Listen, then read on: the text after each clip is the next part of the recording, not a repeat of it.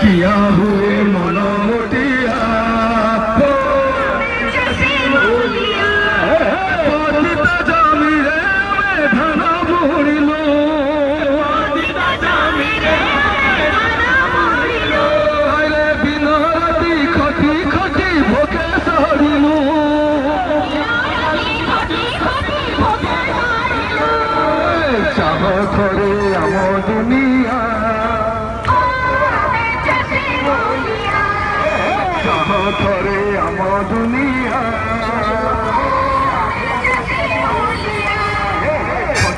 रहे सारा दुनिया।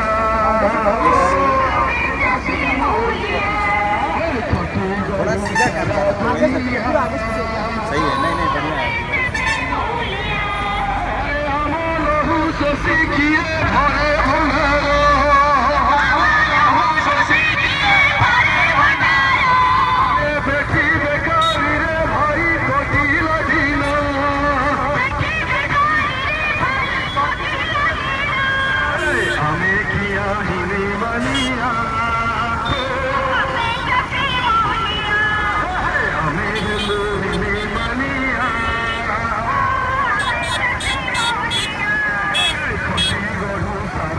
इस समय हम उड़ीसा की राजधानी भुवनेश्वर से सिर्फ़ 10 किलोमीटर दूर हैं, जहाँ नवनिर्माण किसान संगठन के नेतृत्व में किसानों के हक के लिए एक आंदोलन किया जा रहा है और इसका नेतृत्व हमारे अक्षय भाई, अक्षय कुमार जी कर रहे हैं, जो स्वयं उड़ीसा से ही हैं। और इस आंदोलन की शुरुआत हुई थी 29 अक्टूबर 2018 से, आज तारीख 4 नवंबर 2018 है और कल इस आंदोलन का निर्णायक दिन है, जहाँ सरकार से किसानों के हक की बात की जाएगी। ये भीड़ कोई अन्यथा भीड़ नहीं है।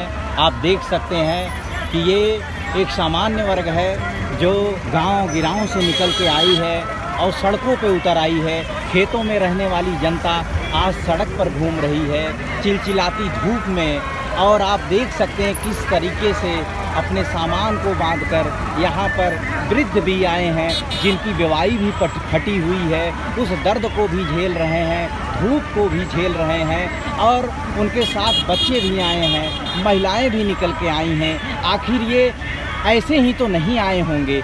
ज़रूर इनको दर्द ने ज़रूर इनको भूख ने ज़रूर इनको पीड़ा ने ज़रूर इनको इनके अर्थ के उस शोषण ने बहुत ही पीड़ित किया है, बहुत ही दुखी किया है और कहीं न कहीं जिससे आशा रखी थी, उस सत्ता ने भी इनको निराश किया है। ऐसे तो कोई बात नहीं रही होगी कि ये दस हज़ार की भीड़ जो कि कटक से भुवनेश्वर तक पूरे सात दिनों की यात्रा करते हुए न कि सिर्फ़ सड़कों पे, गाँव से भी निकली है। ये जत्था लगातार बढ़ रहा है विधानसभा की तरफ़। आप देख रहे हैं कि सीएम आवास को भी घेरने के लिए ये उन्मुक्त है। सिर्फ़ इसलिए कि सीएम साहब जो इतनी दूर चले गए हैं, मिलते नहीं हैं, उनके घर पे जाके हम उनसे मिलेंगे, अपनी शिकायत दर्ज करेंगे और पूछेंगे, आखिर ऐसे हमने क्या गलती कर दी कि जो हमने आपको सत्ता में पहुँचाया, और आपके कहे अनुसार हम गाँव में बैठ के इंतज़ार करते रहे कि आपके वायदे हमको मिलेंगे, हमारे साथ किए गए वायदे पूरे किए जाएँगे, लेकिन मेरे साथ छल हुआ है। इस छल की शिकायत आखिर किससे की जाए? दीपा, दीपावली का समय आ रहा है, लेकिन इस दीपावली में दिया जलाने के लिए घर में अगर तेल नहीं है उस दीपक में लगाने के लिए रुई का वो धागा नहीं है तो आखिर बताओ हम दीपावली कैसे मनाएँगे? घर के बच्चे अगर भूख से बिलक कर मिठाई मांगेंगे तो उस मिठाई को हम ला के कहाँ देंगे? जबकि हमारे घर में सूखी रोटी तो है नहीं, मैं तो खा पाता नहीं। पेट पानी से भर के सो जाता हूँ और रोज नित्य कर्म करते हुए अथक परिश्रम करते हुए खेतों में मैं अपने हाड़ मांस को गलाकर, तोड़कर आपको अन्न प्रदान करता हूँ। इसमें कि इस अन्न का कभी उचित मूल्य मिलेगा तो मेरे घर भी रोटी आ सकेगी, मेरे बच्चों का तन भी ढक सकेगा और और तो और इस त्योहार को, ऐसे आने वाले त्यौहारों को, उत्सव के रूप में हम मना सकेंगे। ये क्या सड़कों पे निकलने का दिन है? एक हफ़्ते से तो हम दीपावली के, होली के पर्वों में जुट जाया करते हैं। लेकिन मैं नवीन पटनायक से पूछना चाहता हूँ, क्या ये उनका ही राज्य है जिसमें इतनी ज़्यादा जनता सड़कों पे निकली है अपनी मांगों के लेकर? क्या ये ऐसे ही तो निकले नहीं है? इसका जवाब कौन देगा? आप देख सकते हैं कि ये पूरी भीड़ जो कि अक्षय कुमार जी के नेतृत्व में कि- निर्माण किसान संगठन के नेतृत्व में निकली है। मैं तो कहूँगा कि ये अक्षय कुमार कोई ऐसे ही साधारण मनुष्य नहीं।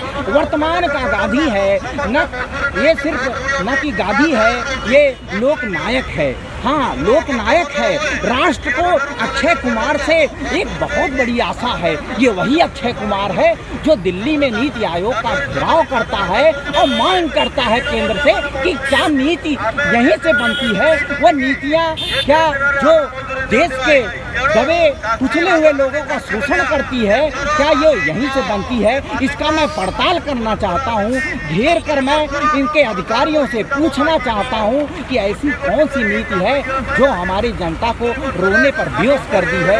उसको फाड़ा जाए, उसे हटाया जाए और एक नई नीति की मांग करता हूँ। प्राइस पेस्ट्री पेंशन दिया जाए, जिससे एक सम्मान के साथ ये रोज़गार बन सके और किसान सीना चौड़ा करके आगे बढ़ सके। किसान का लड़का किसान बनने में शर्म न महसूस करे। इस बात के लिए ये लड़ाई छिड़ी है और मैं तो अक्षय भाई जी को धन्यवाद देता हूँ और उस परम पिता परमात्मा परमात्मा से, ईश्वर से ये निवेदन करता हूँ कि उन्हें असीम शक्ति दें और भारत का नेतृत्व वो करें और किसानों के इस मस्तक को ऊँचा करें, जिसके बल पर भारत कृषि प्रधान देश कहा जाता है।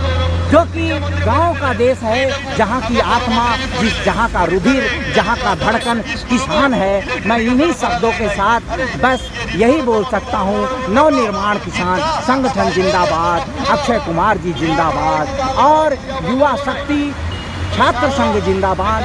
छात्रों का एक बहुत बड़ा हुजूम। लगातार अक्षय कुमार जी के साथ जुड़ा हुआ है। पंजाब से, वाराणसी से, इलाहाबाद से, झारखंड से, मुरादाबाद से, हिमाचल प्रदेश से, कश्मीर से। कहाँ नहीं है अक्षय कुमार जी के समर्थक। अक्षय कुमार जी, आप संघर्ष करो। हम सभी आपके साथ हैं। बहुत बहुत धन्यवाद।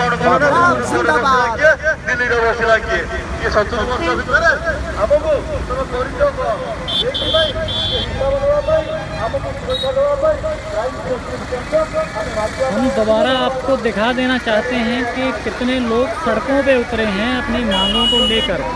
ये सब के सब किसान हैं। जो अभी उड़ीसा की राजधानी भुवनेश्वर की ओर बढ़ रहे हैं।